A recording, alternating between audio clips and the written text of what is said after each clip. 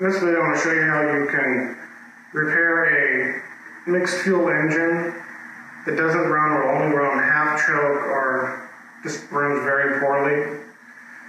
Now, this is going to be one that does not involve you taking apart the carburetor, which isn't as easy with these newer engines. Like this one, you have to take this piece off, this piece off, throttle linkage, probably the trigger and the set here, and you have to take your air body off just to get to the carburetor unlike a lot of these uh, older engines that are just real easy.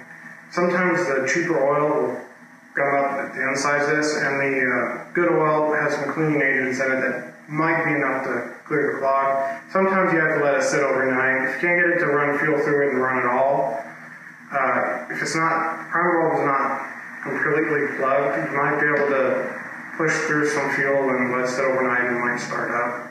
After that, replace your fuel filter. It may be clogged. It might not seem like it's clogged, but it'll be clogged. And after that, you're pretty much in for a carburetor rebuild.